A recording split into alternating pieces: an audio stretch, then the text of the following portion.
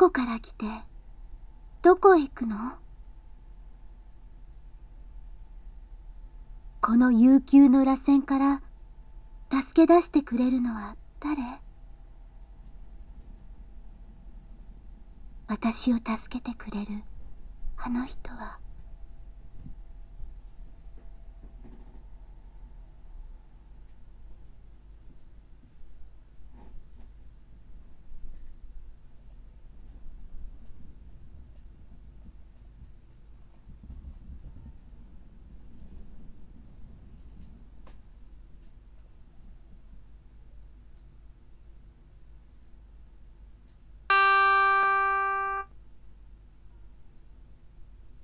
まもなく当機は現地時間11時におきましてデザイアに到着いたします。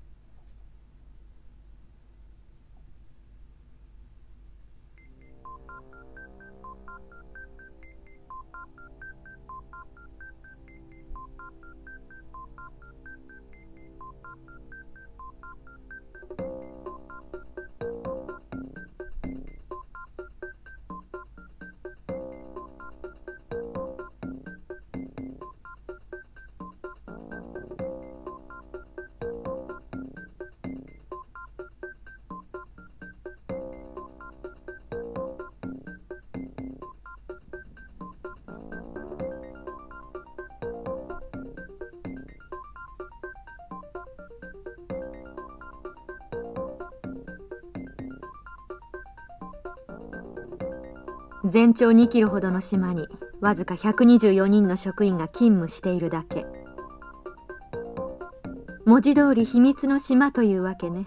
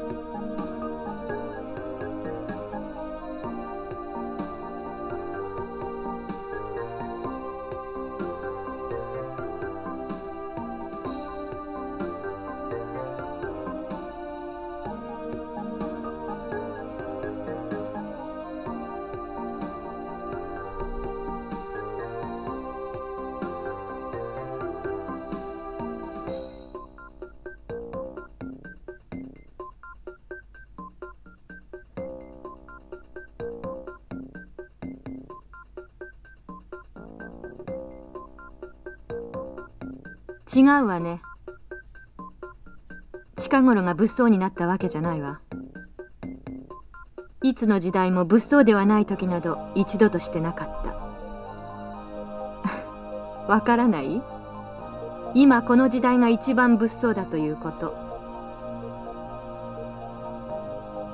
私は和美。あなたは？綺麗な刺繍ね。あなたがやったの ?AL ある？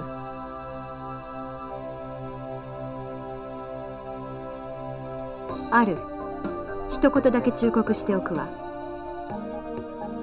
これから行くデザイアはもっと物騒だということ心に留めておくことね。今にわかるわ。すぐに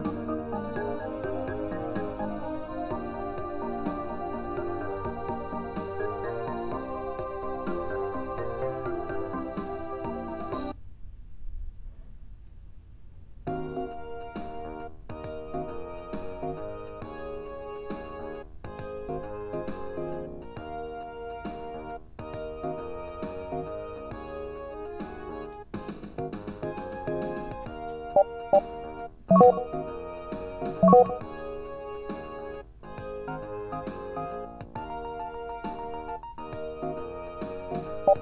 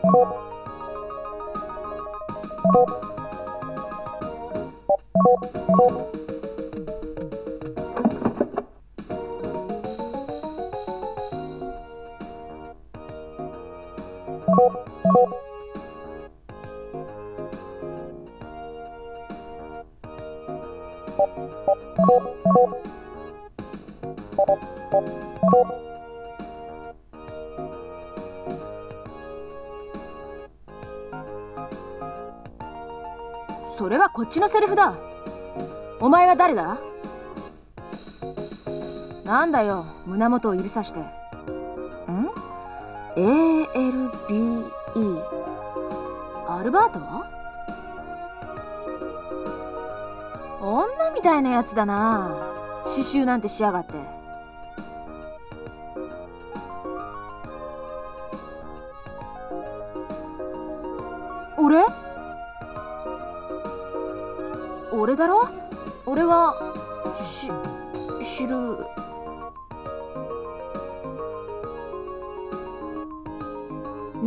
何ボケこいてんだ？シルビアだよ。シルビアブラザー。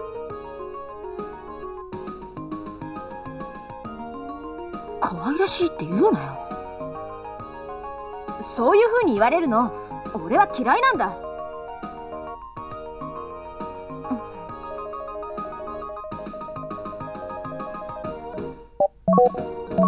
一体何をやってるんだ？ここは部外者がうろちょろするところじゃない。ない顔だな。誰だお前は。あもしかするとお前今日取材に来る予定の新聞記者？するってと技術主任の恋人？ミス泉のことさ。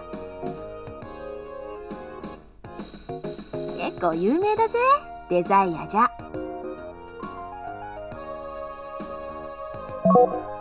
で泉さんの恋人が一体ここで何をしてるんだ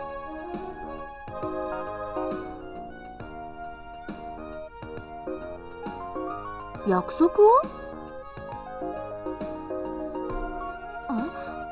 今はまだ11時を少し過ぎたぐらいだぜ。機内放送で言ったはずだろ？1時間ほど早く到着するって。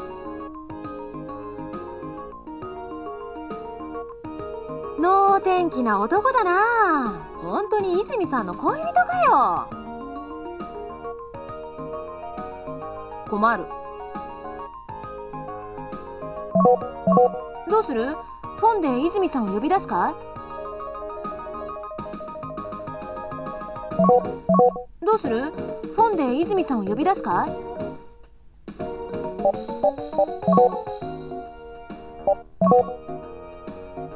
仕方がないだろ。生まれつきだ。決まる。何キョロキョロ見回してんだよ。だろ？デザイアで自慢できる場所さ。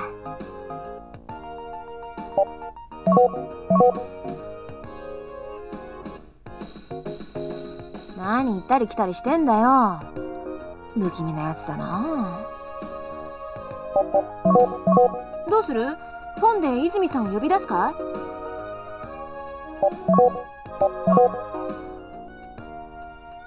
整備士だよ。ちっちっち。甘いな。ただの整備士じゃないぜ。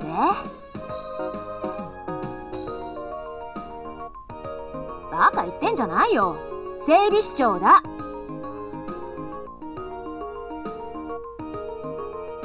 がどうしたんだよ。はあ。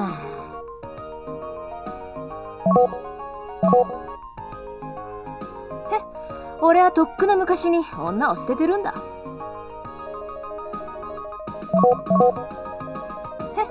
俺はとっくの昔に女を捨ててるんだ。どうする？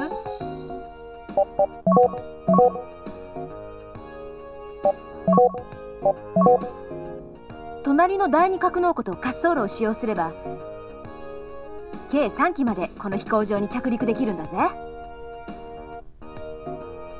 そりゃ大都市の空港なんかに比べれば小さいけどそこに勝るとも劣らない設備が整ってんだ。ここには。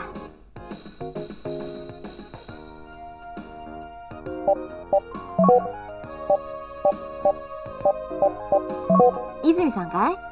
うん。彼女は俺から見ても素敵な人だと思うぜ。なんて言えばいいのかな。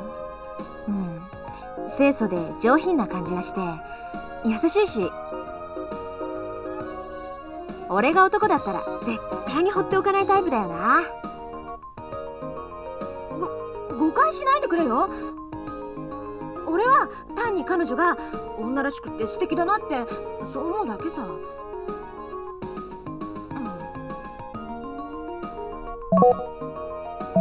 今日は見てないな。でも予定時になれば来るんじゃないか？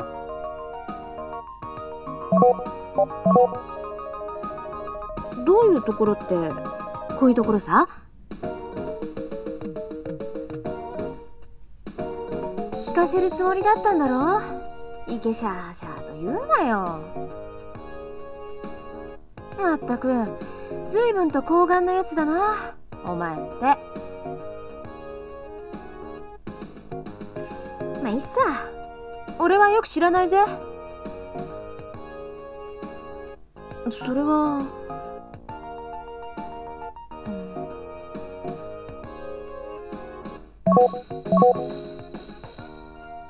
ち違うさったく。正直言うと俺みたいな整備士は全然知らされてないんだよ。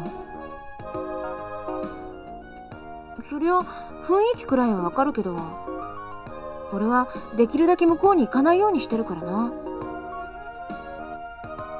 研究所の方さもう格納庫にこもりっぱなし。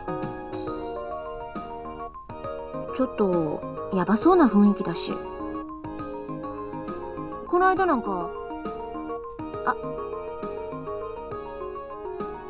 いいやあその。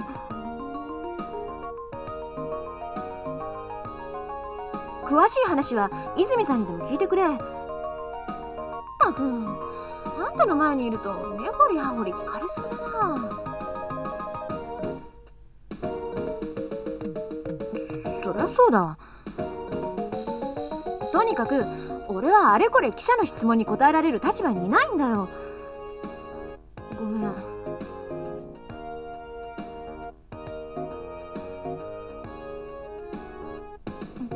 その代わり飛行機のこととか格納庫に関することであれば何でも聞いてくれよ。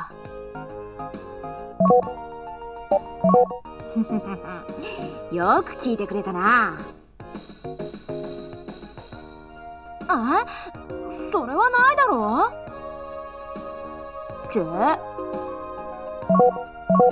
しまずはこのハイパーカーボンを使用した格納庫の素材だが。おい。あなんだい？何でも聞いてくれ。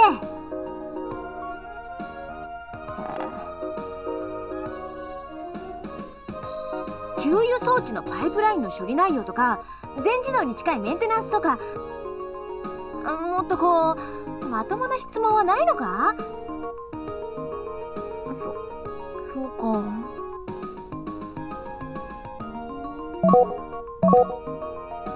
まだ何も言ってないじゃないか。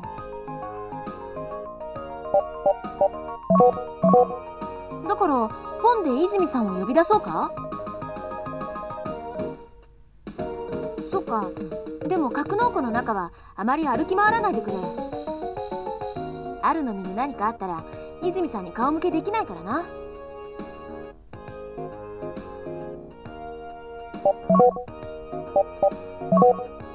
なんか引っかかる言い方だな。え？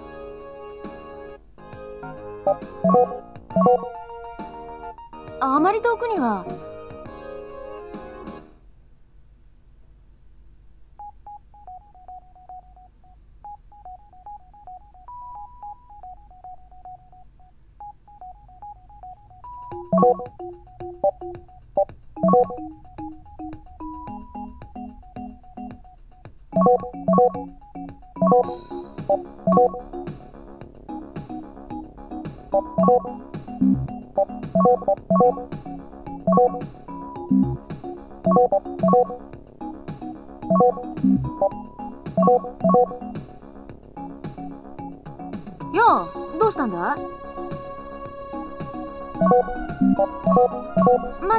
さんは来てないぜ。まだいも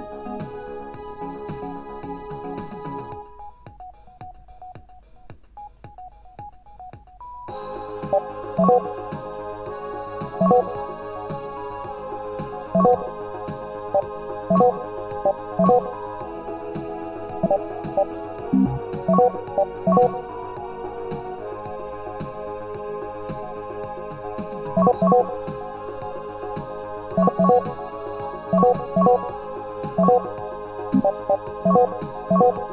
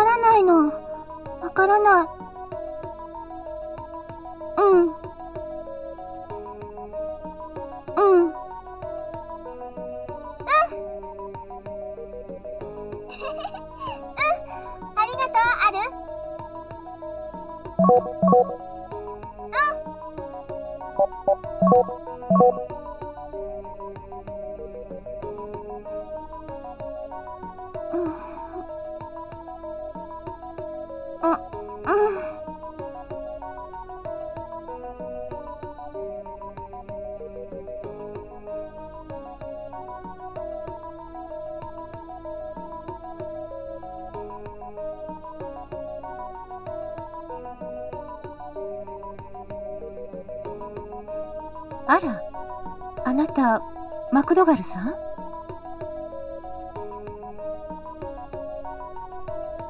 私はあらその背中の女の子は？あなたのお子さん？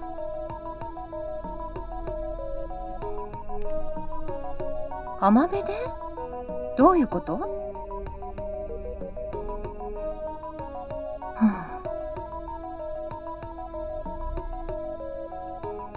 あるわ。そういう施設もここにはあるの。そうね。シルビアに頼みましょう。ようある。泉さんさっき。ん？誰だいその子。まさかあるの子供？シルビアこの子を至急メディカルセンターへお願い。あレイコさん教授には私から言っておきます。今は部署を離れて構わないわ。メディカルセンターですね。わかりました。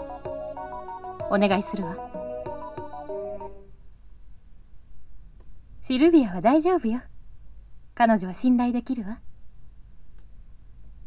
挨拶がまだだったわね。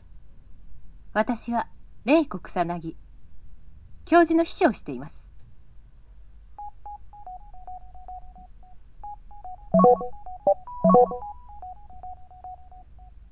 は二物を与える。というわけね。あの女の子浜辺で見つけたということだけどどういうことかしら？いいえ子供同伴の職員はいないわ。遭難かしら？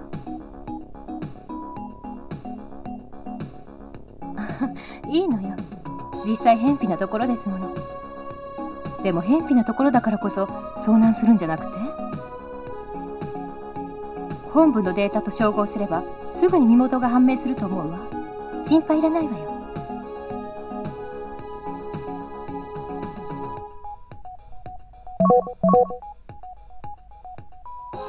アルバート・マクドガルさん。通称アル。趣味は刺繍。現在新聞社に勤務する前途有望な若手記者。違ったかしら？いつも聞かされているのよ誠から。何をかしら？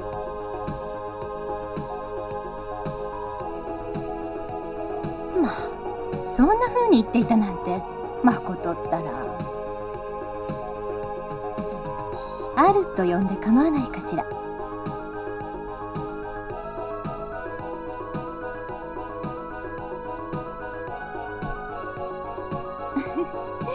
大歓迎よ。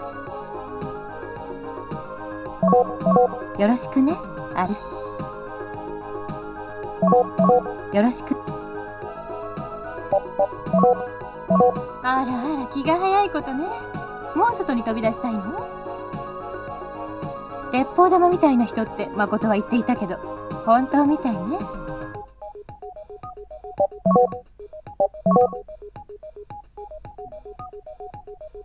何を見ているのかしら？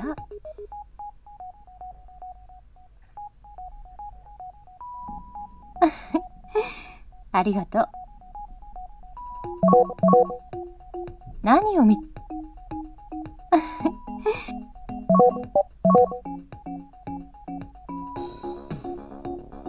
彼女なら大丈夫よ。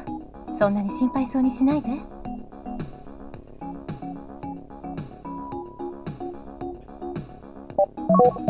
よろしくね。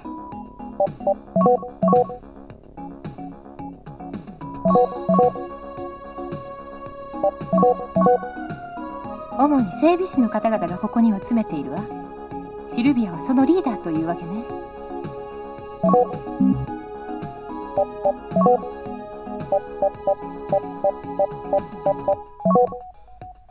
彼女はちょっと休養で迎えに来られなくなったわ。だから代わりに私が来たの。そう。せっかく久々に会えるというのに。ごめんなさい。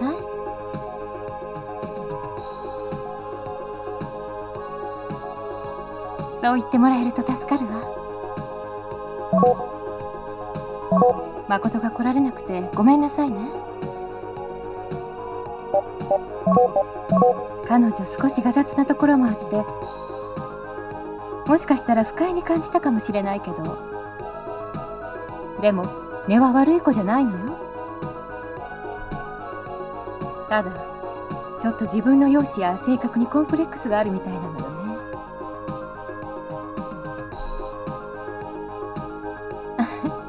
シルビアが聞いたらきっと喜ぶわよ。でも誠が聞いたら怒るかもね。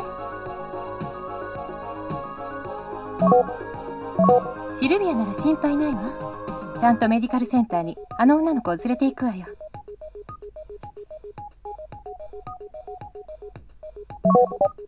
一応教授の秘書というところね。もう取材かしら。さ いいわ。教授の研究の阻害にならないように。書類の整理や身の回りのお世話などを仰せつかっているの。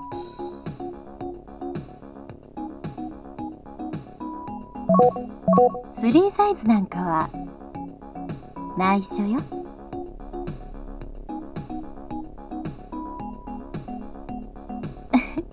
正直な人ね。スリーサイズなんかはそろそろステラ教授のところへ行きましょうか。ええ。でもステラドビッチ教授というと今は亡き彼女の夫のことを指すことが多いのよ。行きましょうか。さあ早く行きましょう。じゃあ行きましょうか。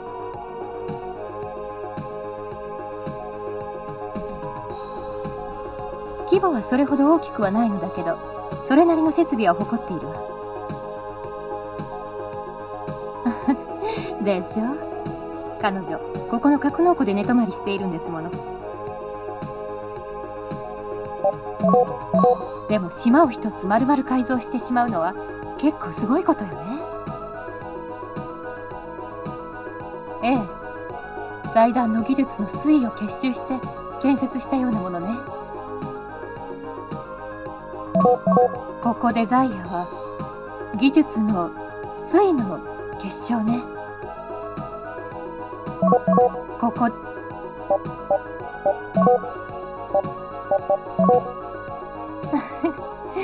何を見つめているのかし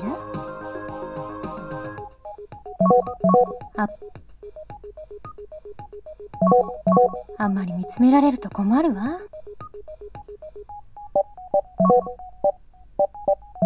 広々としていて綺麗でいいところでしょ？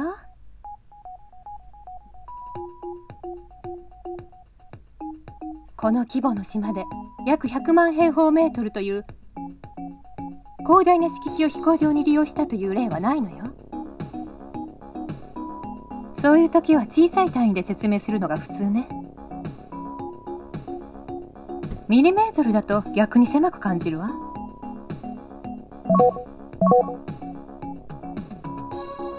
どうしたの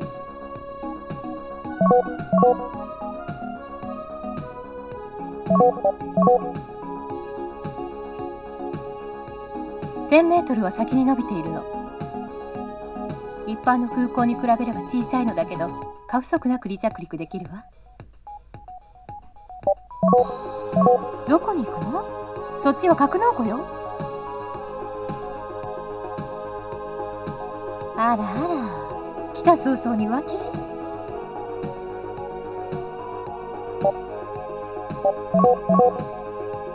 何かしら。違和感？別に感じないわね。ちょっと日差しが強いくらいかしら。気分でも悪いの？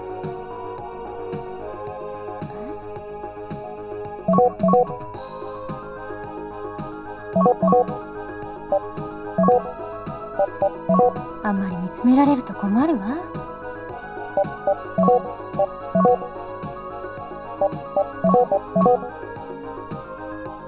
アスファルトが熱を帯びるとよく生じる現象ね。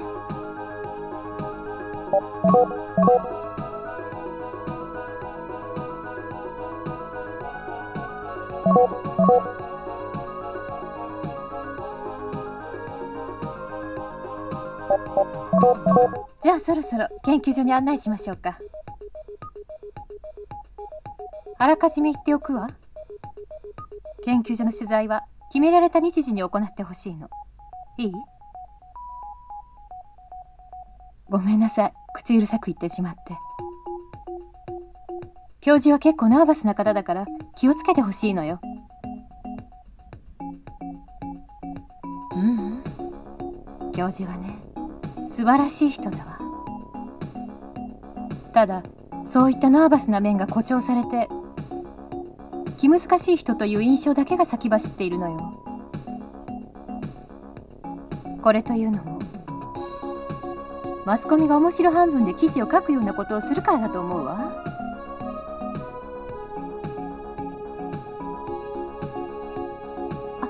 ああなたのことを言ってるわけじゃないの。あるの記事は分析も解釈も事実に基づくものだと思うわ。あら誠は言ってくれないの？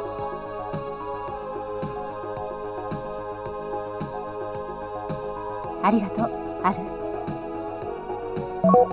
じゃあ研究所へ行きましょう。こっちよ。ここからだとものの数分ね。ここが研究所よ。随分と？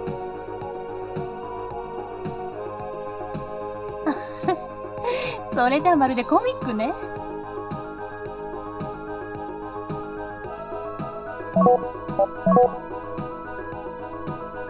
そのことをみんなに言ってはダメよ。ここの職員はみんなそれを気にしているのだから。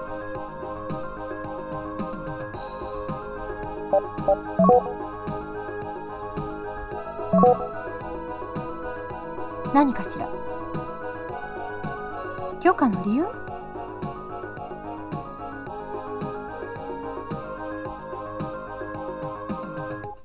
さあそれはちょっとわからないわ。私はステラ教授から取材のことを聞かされただけだし。それはどうかしら。教授はマスコミの取材などを極端に嫌う傾向があるのよ。性格的に。確かにデザイアの総監督だから。彼女が許可を出せば本部も OK になるはずだけど。取り立ててそうする必然性がないわ。ええ。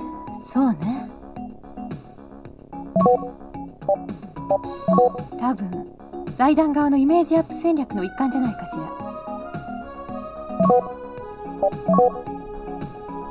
ええ。コステラドビッチ教授の提唱した環境と人類の融合というコンセプトは現在最も進歩したエコロジーとして認識されているわ。そういうことね。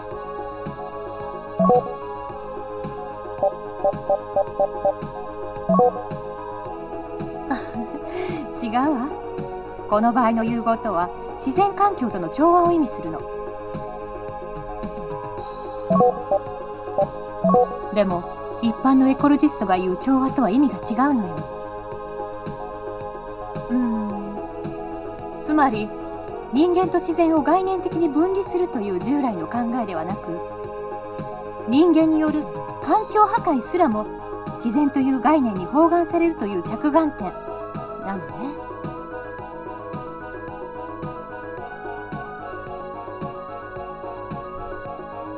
かなか文学的な表現ね。でも間違いじゃないわ。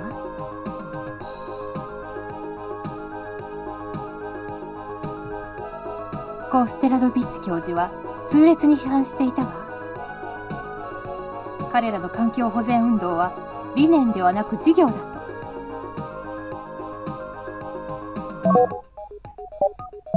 ステラ教授の夫で生態工学の権威だった人よ。そうね。彼はある時期からめきめきと頭角を現してきた人よ。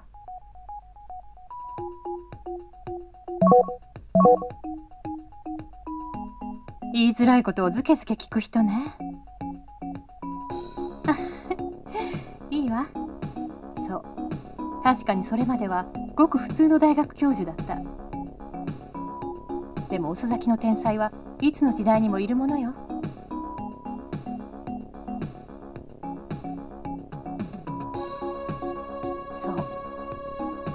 だから夫婦でノーベルプライズも夢じゃないとまで言われていたのよ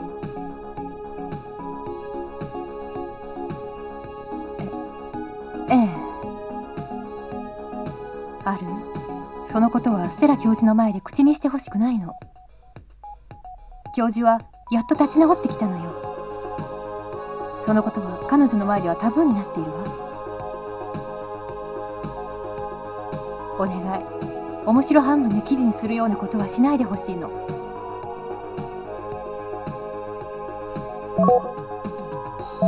教授の前ではできるだけ触れないでほしいの。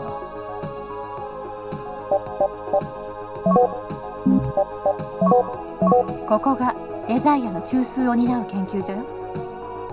主だった研究の他にもデザイアのさまざまな制御をここで行っているわ。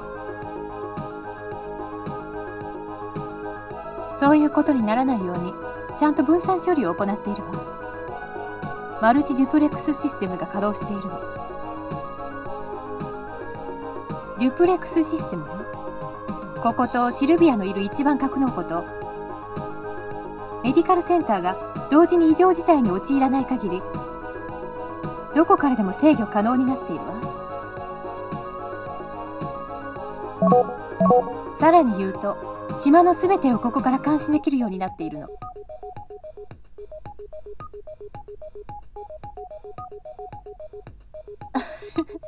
本当に面白い人ね。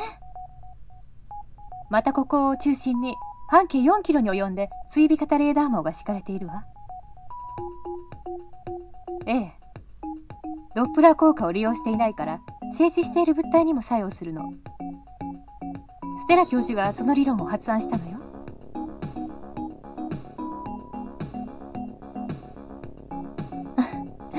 記事にしても構わないわよ。他にもすごい機能がたくさんあるんだけど。あとは秘密。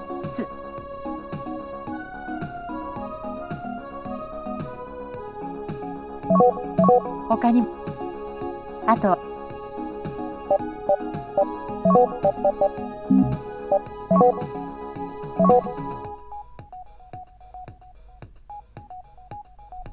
ある？そっちは方向が違うわよ。ある？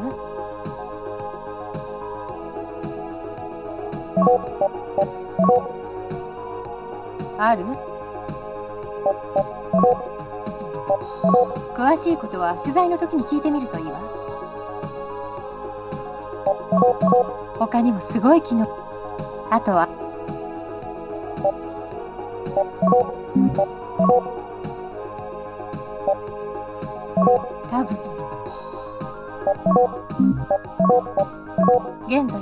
進歩的な学説と言われているわ教授の前ではレイアウトや配置は高名な建築家にお願いしたのよ。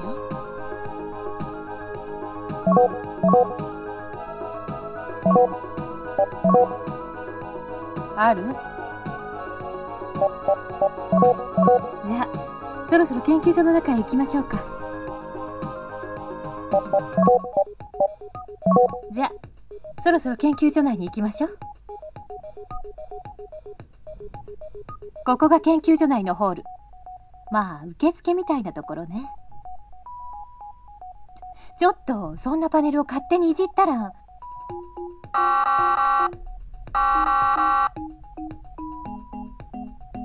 当たり前よ。少しは自重してほしいわ。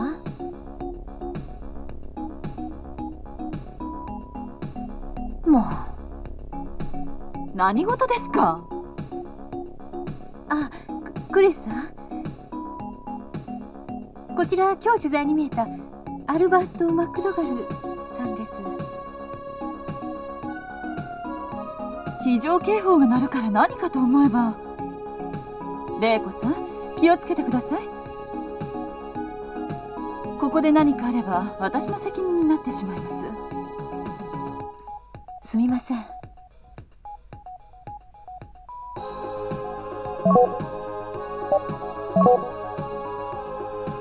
このメガネが何か？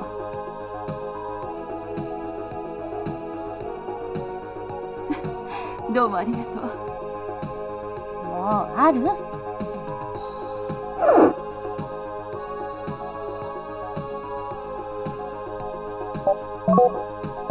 パネルを勝手にいじられては困ります。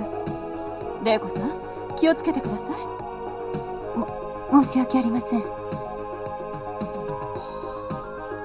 今のところアルの保護者は私ということになっているの。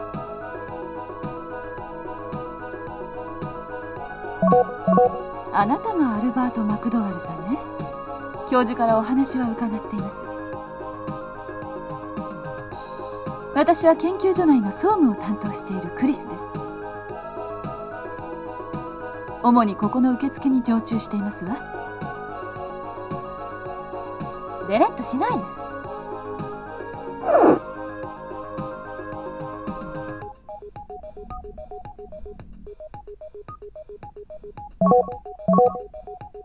ええ研究所内に限ってですけど。